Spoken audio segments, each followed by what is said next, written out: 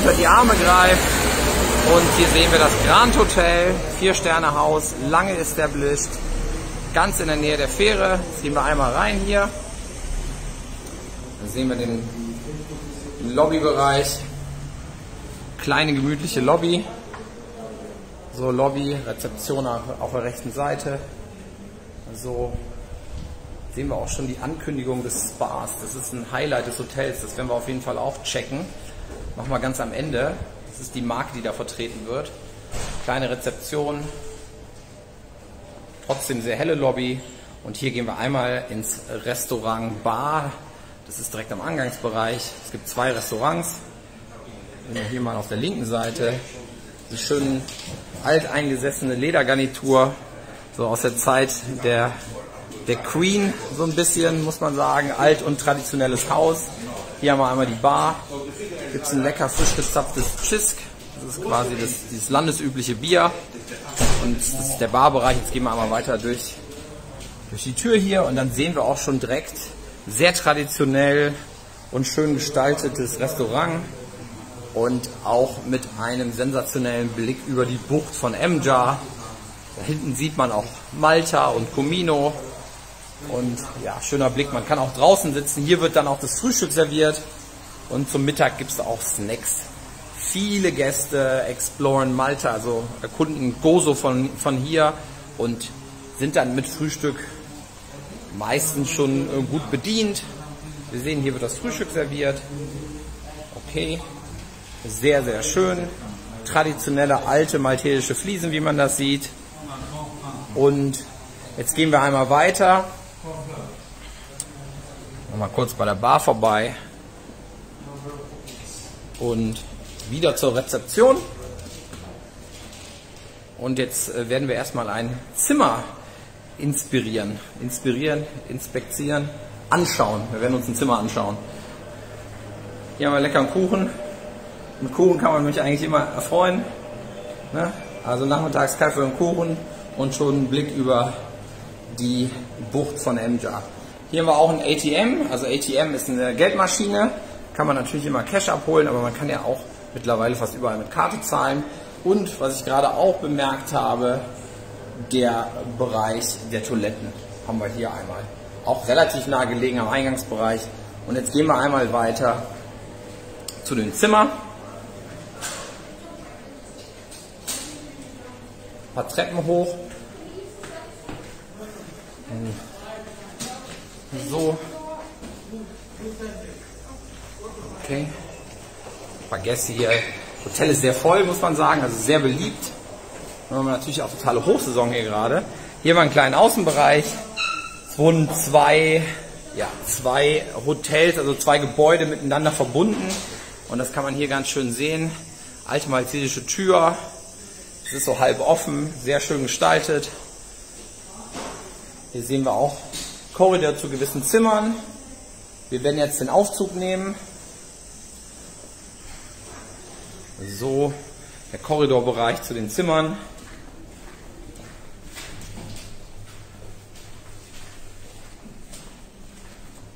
Okay, jetzt sind wir hier schon beim Aufzug. Also keine, keine langen Wege. Okay. So. Ich hoffe, euch geht's gut. Wir sind heute auf der Schwesterinsel Maltas, Gozo. Dann gibt es noch die kleinere Schwesterinsel mit Comino, kann man schon einen Tagesausflug zu machen. Und wir sind heute im Grand Hotel Gozo, altes traditionelles Haus, aber sehr sauber und sehr nett geführt. Ähm, ja, würde am liebsten direkt hier bleiben. Bin ja auch nicht so oft auf Gozo, lebe ja selber auf Malta. Jetzt warten wir mal kurz auf den Aufzug. Dauert ein Sekündchen. Und können wir nochmal hier so gucken. Hier sehen wir, noch gut ausgestellt, haben eine Rezeption, Bar. Da kam wir gerade her. Zeige ich euch jetzt gleich mal das äh, schicke Zimmer. Das ist alles hier so ein bisschen im, im Queen-Stil, also im alten englisch-traditionellen Stil gehalten. Das werdet ihr auch nachher sehen bei den Möbeln und beim Bett. Also im, im Zimmer. So. Und ja, wie gesagt, das Hotel ist gerade zurzeit relativ voll, deswegen ist das auch mit dem Aufzug gerade einfach, dauert es einen Ticken länger. Und äh, dann zeige ich euch gleich noch den schönen Außenbereich, also den Pool. Und dann haben wir das, das Hauptrestaurant ist auf der Dachterrasse. Was natürlich gerade am Abend, wenn man da einen Drink zu sich nimmt oder was isst, ähm, super Erfahrung ist. Und Spa-Bereich, der wurde vor drei, drei Jahren komplett neu etabliert. Hallenbad auch vor drei Jahren komplett neu. Zeige ich euch alles. Jetzt ist der Aufzug fast da. Hier, zweite Etage. Ah, ich sehe ihn schon. Jetzt geht er auf. Super. Hier seht ihr mich ja auch. Hallo. Hier sind alles gut? Sag mal bei uns im Rheinland. So. Hier seht ihr auch. Hopp, da hat der Roman sich gerade ins Bild gemogelt. Reservation und äh, Reception Manager. Ich glaube, es ist schöner, mich zu sehen, als die Aufzugstür. Also, dann schiele ich hier mal so, so. Ach, guck mal hier. Ihr seht, super, super heiß, ne? Unglaublich. Hier glüht's in Malta. Immer noch. Ende August. Oder haben wir schon September? Ne, wir haben schon September. 1. September heute. Krass. Zeit vergeht. Jetzt sind wir auch schon äh, angekommen. So. Okay. Und dann werden wir uns jetzt einmal das Zimmer anschauen. Dann sind wir hier in dem Korridor. Genau. Jetzt haben wir der Roman, der vor uns geht hier, unser Reservation Reception Manager.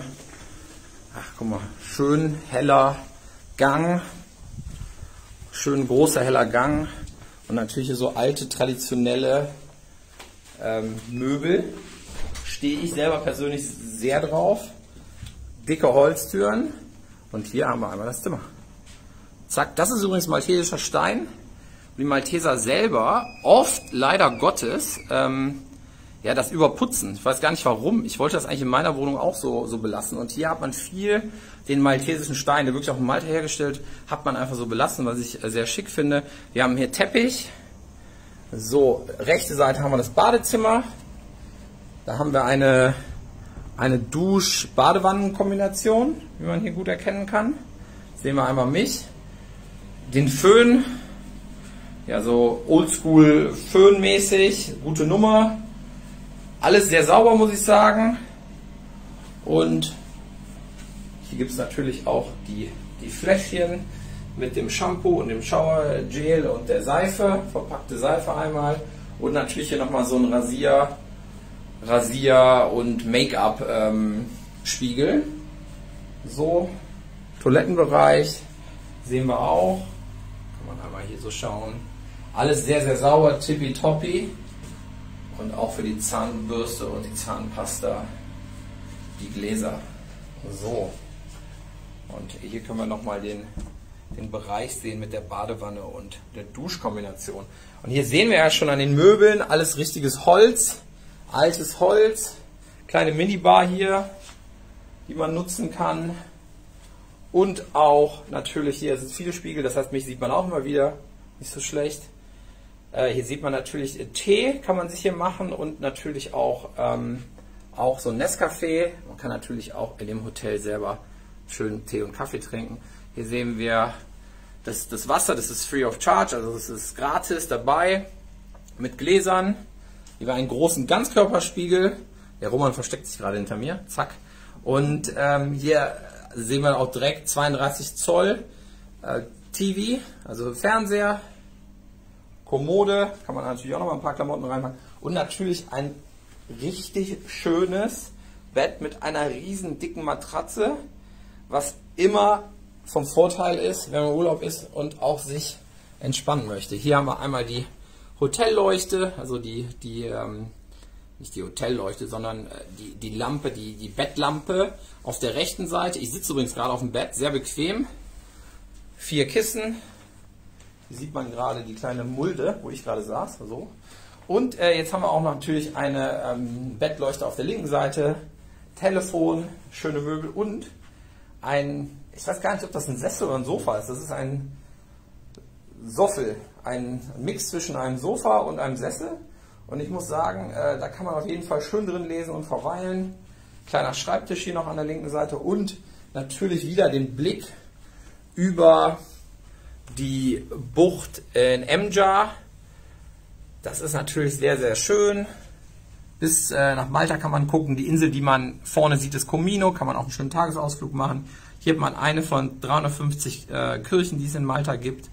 Und ja, Sehr, sehr schön. Und jetzt mache ich hier einmal auf. Zack. Und jetzt sehen wir auch direkt von hier oben den echt großen Pool. Sehen wir den einmal. So, müssen wir mal gucken.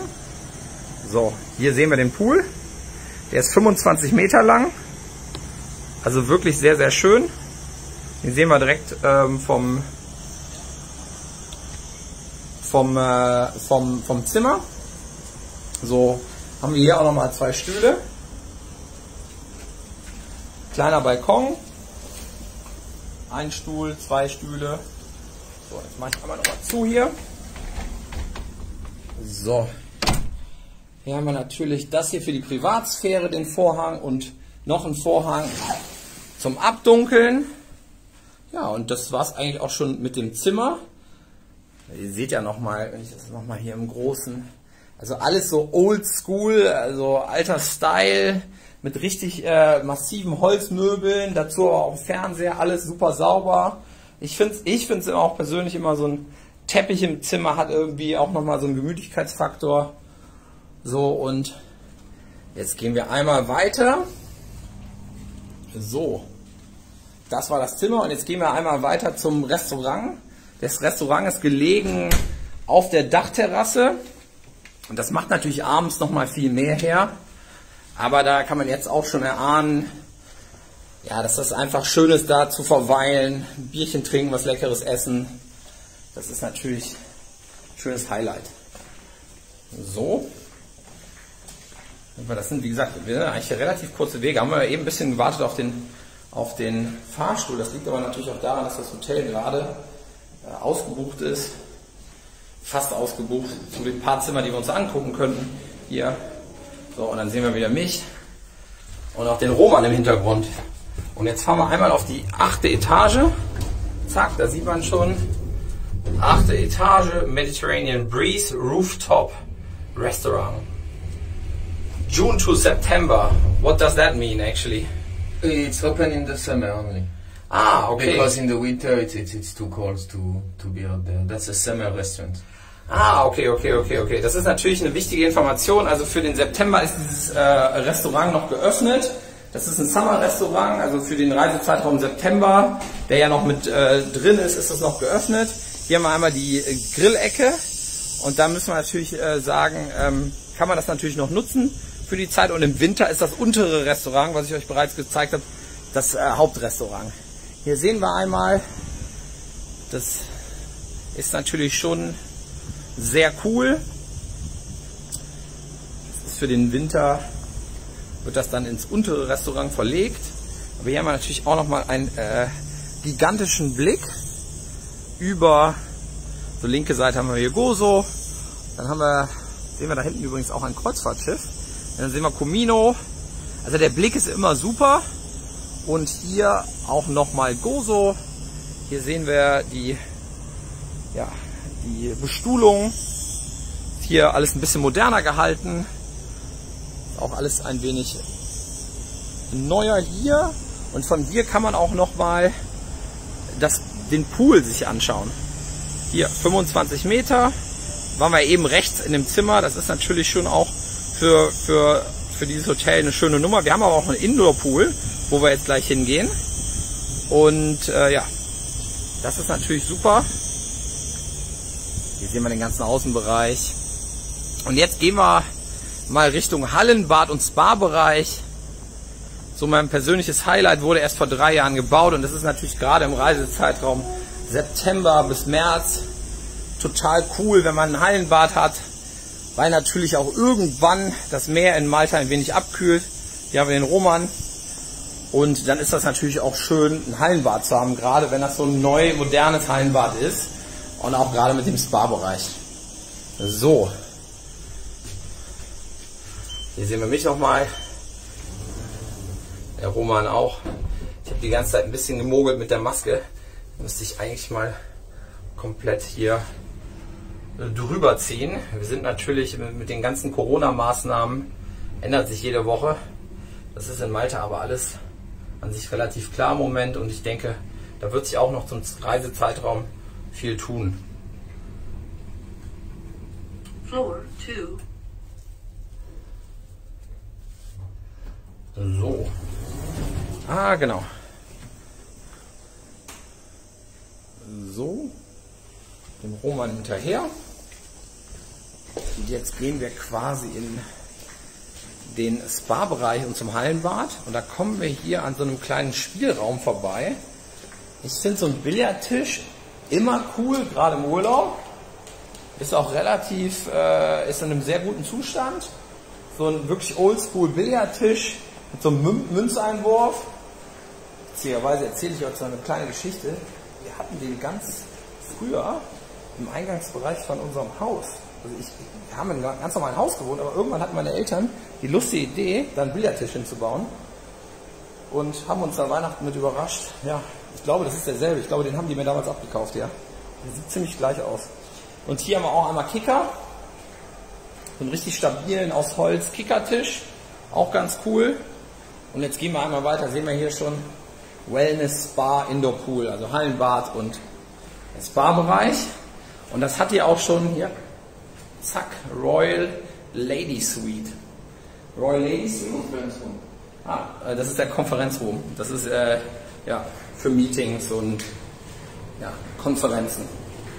Aber das ist jetzt gar nicht das Wichtige hier, sondern das Wichtige ist jetzt hier, dass wir schön uns den, den Pool, den, den Pool anschauen. Also das, das Hallenbad hat hier auch schon so ein bisschen so ein Hallenbad-Feeling. Ich finde das immer cool, wenn man ins Hotel kommt und man, man, man spürt schon, dass man dem Spa-Bereich immer näher geht. Also ne, man hat schon dieses, man hört so ein bisschen das Wasser und diesen, man diesen Spa-Geruch, ne, das finde ich immer schon immer ganz gut.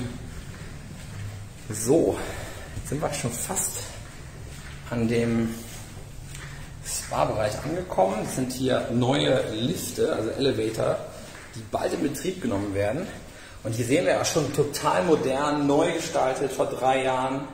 Und äh, hier mit so einem coolen grauen Parkett. Und wenn wir jetzt geradeaus weitergehen, kommen wir zum Spa, aber wir, wir werden jetzt erstmal das, äh, das ähm, äh, Hallenbad auschecken.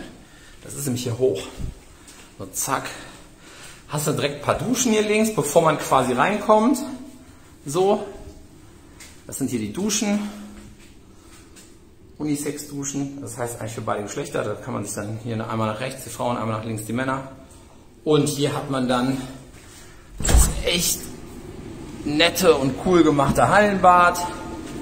Das sieht man ja einmal hier. Zack. Würde ich am liebsten direkt reinspringen, weil es ist auch wirklich immer noch sehr heiß in Malta. Und ein paar Liegen. Also echt sehr gemütlich gestaltet. Mal mal rüber und auch hier noch ein Bereich, wo man sich entspannen kann. Und hier sieht man auch direkt wieder den Blick über die Bucht von Emja. Also die Bucht ist natürlich unterhalb gelegen. Hier sieht man ja die Kirche, die oberhalb gelegen ist, der Bucht, direkt gegenüber vom Hotel. Und jetzt drehe ich mich hier einmal kurz und dann sieht man jetzt nochmal den Pool in der vollen Pracht. Hallenbad. So. Ich würde jetzt mal abschätzen, der Pool ist so 15 mal 10 Meter groß.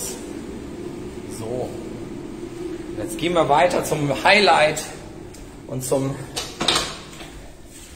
absoluten, ja, ist für mich mein absoluter Highlight-Spa-Bereich. Kann ich immer wieder, kann ich immer wieder empfehlen. So, Spa, Grand Hotel, Grand Gozo Spa. So.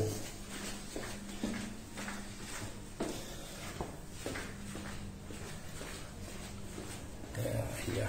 Ja, das ist schon so dieser Spa-Feeling, alles ein bisschen Air Condition noch mal ein paar Grad runtergeschraubt und äh, riecht alles schon mal gut, Kerzen an.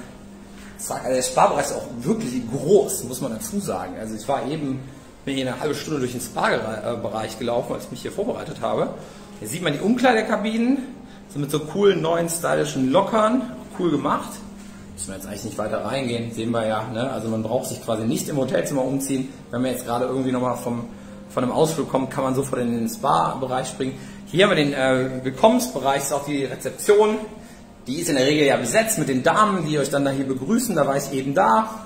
Hier haben wir da quasi so ein Nagelstudio-Spa-Nummer mit diesen Riesensesseln, wo man quasi sich schön die Füße machen lassen kann. Das sieht man hier, ne? das ist dann hier dieses Fußbad. So. sieht man her, das ist dann auch so mit LED. Ja, coole Stimmung. Das ist natürlich ein, Sessel, da willst du gar nicht mehr raus. Und hier kann man sich auf die Nägel, also die, die Fingernägel machen lassen. Eine große Auswahl an Nagellack. Ich kenne das immer nur von meiner Freundin. Bin da selber kein Riesenexperte. So, also quasi, wir kommen rein in den Eingangsbereich des Spa-Bereichs und sehen sofort quasi auf der rechten Seite ähm, den Bereich, wo man sich Füße und Hände machen lassen kann. Und hier haben wir übrigens auch die Damen, die haben sich gerade wieder eingefunden. Hi Ladies, how are you? Geht's euch gut? Denen geht's gut. Und äh, ja, jetzt gehen wir mal in den Hauptbereich vom Spa rein. Es hat auf jeden Fall eine sehr entspannte Atmosphäre hier. Hier sehen wir, äh, gibt es natürlich so, ähm, so loungige Liegen, wo es dann auch verschiedene Treatments äh, zu buchen gibt. Ja, da gibt es ja auch so einen Vorhang, der wird dann dazu gemacht. Hier haben wir eine sehr elegante Marke.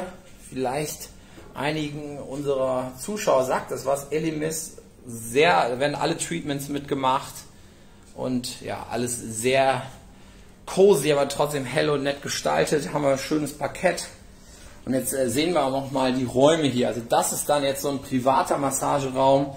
Das kann man sich natürlich sehr gut vorstellen äh, als Couple, Couple-Massage in dem neu gestalteten Spa-Bereich hier. Das muss man äh, einfach ja, erlebt haben. Jetzt seht ihr mich auch wieder hinten im Spiegel. Auch immer wieder ein Highlight. Hallo. So und ja, das ist einfach sehr, sehr schön. Also ich glaube, wenn jetzt ich hier gleich fertig bin, dann bleibe ich direkt hier.